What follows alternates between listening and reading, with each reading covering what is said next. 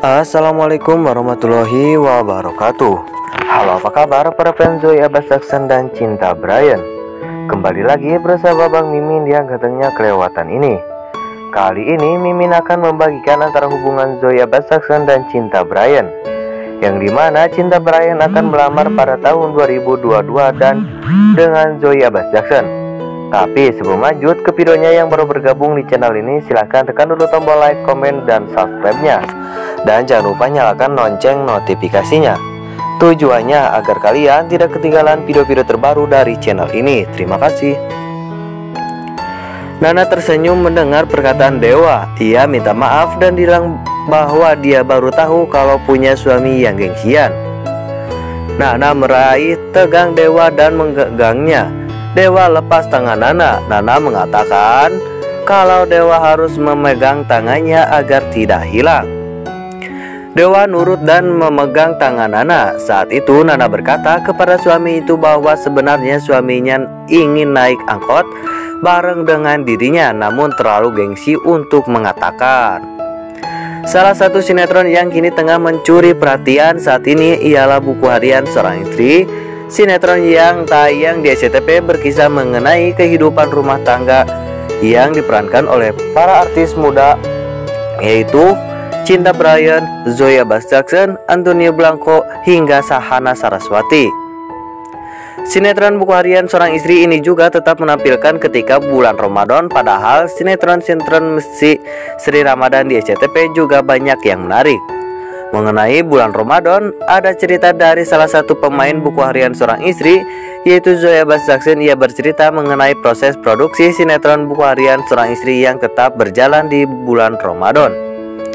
Hal itu diungkapkan oleh Zoya Bas Jackson dalam sesi meet and greet sinetron buku harian yang berlangsung pada beberapa hari yang lalu.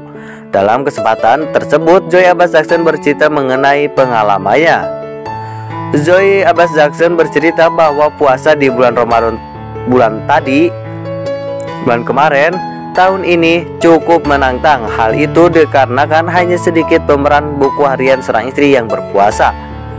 Karena kebanyakan pemeran di sinetron buku harian seorang istri adalah non-muslim. Mereka pertama kali bersaing suasana puasa di lokasi syuting justru itu tantangan kita semua saat puasa jelas Joey Abbas Jackson. Sedangkan untuk menghadapi hari-hari yang penuh kesibukan, Zoe Abbas Jackson sudah mempersiapkan beberapa hal. Salah satunya adalah vitamin yang akan membuat tubuhnya tetap prima. Buat aku harus menyimpan banyak vitamin, tambah Zoe. Selain itu, tantangan yang dirasakan oleh Zoe Jackson adalah saat dia harus berperan dengan adegan yang tak seperti sebelumnya. Hal yang itu juga menjadi tantangan tersendiri bagi Zoe Jackson. Setiap sunke berat sih buat kita berdua karena di setiap sunke ini pasti ada powernya. Apalagi yang terakhir-akhir ini sempat enteng ceritanya. Mengalir gitu terus tiba-tiba langsung dikasih yang berat jedar.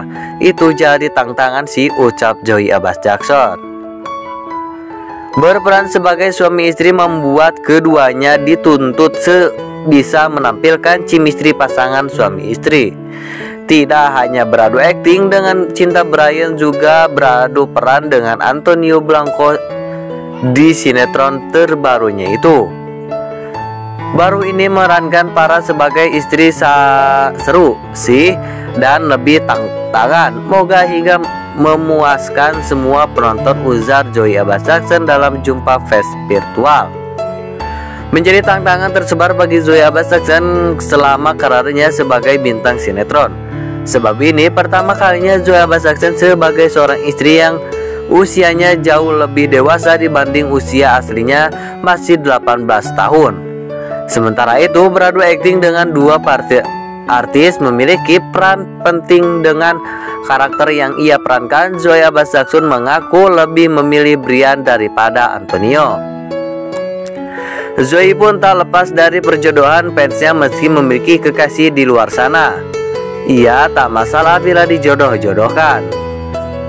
Enggak masalah kok, biarin aja penonton berjodoh-jodohkan Yang penting hati saya tetap buat dia Bagi saja bagaimana caranya saya bisa menampilkan acting yang bagus dengan chemistry yang kuat dengan lawan mainnya tandas Zoe Abbas Jackson.